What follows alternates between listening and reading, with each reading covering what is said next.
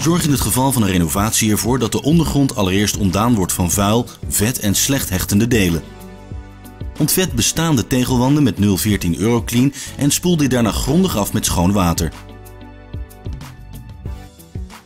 Verwijder eventuele uitstekende en loszittende delen en maak de ondergrond vervolgens stofvrij.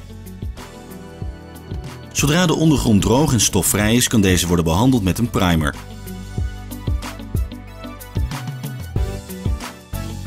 Kies de juiste primer voor uw situatie en laat de primer voldoende drogen.